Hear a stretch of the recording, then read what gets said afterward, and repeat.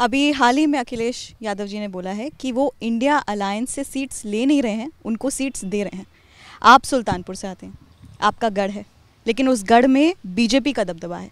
उसी को हटाने के लिए आप कांग्रेस और समाजवादी पार्टी एक साथ आए। अब तो आप नेशनल पार्टी भी हैं। मैं बस ये पूछना चाह रही हूँ आपसे कि ऐसी क्रूशल सीट्स को आप लोग कैसे मैनेज करेंगे? देखिए, ऐसा है कि निश्चित रूप से बीजेपी का दबदबा है और दबदबा है इसीलिए दो बार से प्रधानमंत्री हैं मोदी जी। 300 से ज़्यादा सीटें वो जीत के आए हैं, देश में इसको कोई इनकार नहीं कर सकता। उत्तर प्रदेश में बहुत अच्छी खासी संख्या में उनको 2014 और 2019 दोनों में सीट मिली।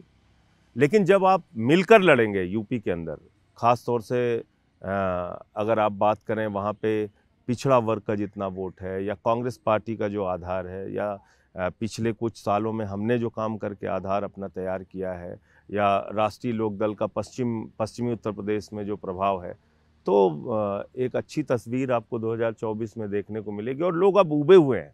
जो क्रेज, जो जो लगाव, जो जुड़ाव भारतीय जनता पार्टी और मोदी जी के प्रति था लोगों के मन में, वो कम कम हुआ है और उसमें बुरी तरह से लोगों का मन टूटा है। तो इसलिए 24 में आप देखेंगे कि अच्छे परिणाम आएँगे।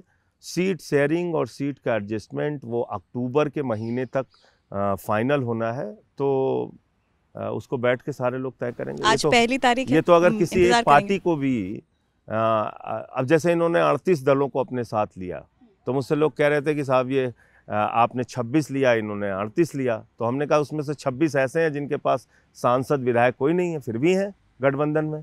तो कैसे कैसे दलों को लिया हम तुम क्यों कहाँ कैसे लेकिन वेकिन मेकिन कामा फुल स्टॉप सबको अपने साथ ले लिया। आप तो राष्ट्रीय तो पार्टी अड़तीस राजनीतिक दलों का ये जो गठबंधन है उनको भी समस्या आएगी।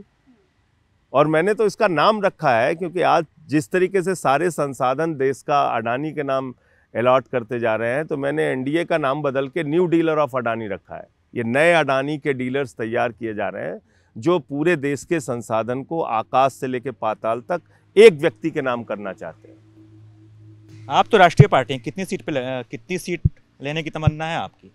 देखिए ये कोई कैमरे पे बोलना चैनल पे बोलना ठीक नहीं है जब एक गठबंधन में आप हैं और उसमें सारे दल के लोग और उसके नेता बैठेंगे तो वो तय करेंगे कौन पार्टी कहाँ तो लोकतंत्र की खूबसूरती है ना कि अपनी पसंद बताइए।